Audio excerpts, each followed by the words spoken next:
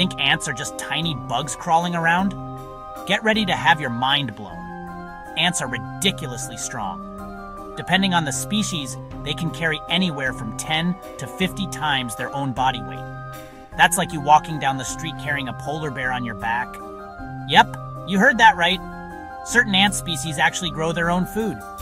They collect leaves to feed fungus gardens underground, farming way before humans figured it out.